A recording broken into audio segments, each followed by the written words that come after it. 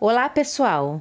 Quantas pessoas já nos magoaram durante a caminhada da vida, não é mesmo? Mas você já pensou que pode ter feito isso com muitas pessoas também? É sobre esse tema que irei falar hoje. Vamos lá?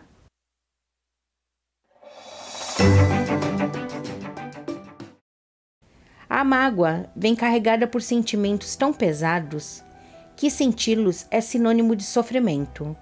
Então abra o seu coração para o perdão, não somente para agradar a Deus ou a religião, mas para curar a ferida que está aberta em seu coração.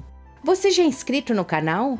Ainda não? Então inscreva-se e deixe seu like para ajudar o canal.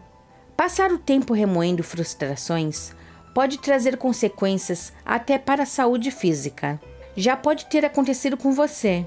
Depois de uma decepção, dores no estômago ou falta de apetite começam a aparecer.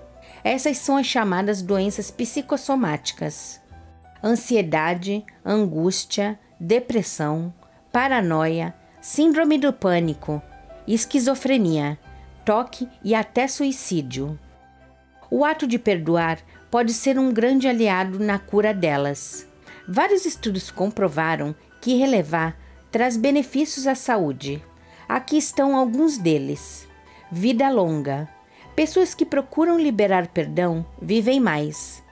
Perdoar de verdade pode reduzir o estresse e conter o nervosismo. Criamos um fardo físico quando estamos magoados ou desapontados. Quando há perdão, as pessoas envolvidas apresentam redução na pressão arterial.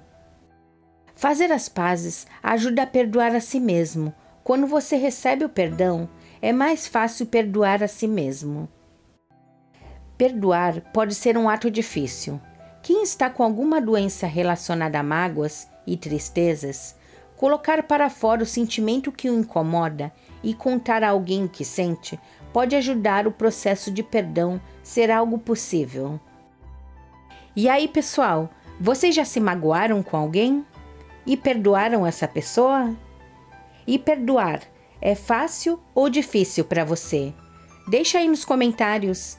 Se gostou desse vídeo, deixe seu like e não esqueça de se inscrever no canal. Um abraço e tchau!